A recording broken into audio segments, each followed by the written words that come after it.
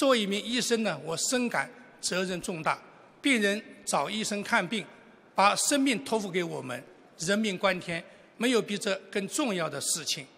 作为老师，俯首甘为孺子牛。一代人有一代人的责任，一代人有一代人的使命。现在的中国年轻一代特别强，他们的知识和能力远超过我们当年。青出于蓝而胜于蓝，一代更比一代强。一个医生能走多远，能取得多大的成绩，一定程度上是由你的团队所决定的。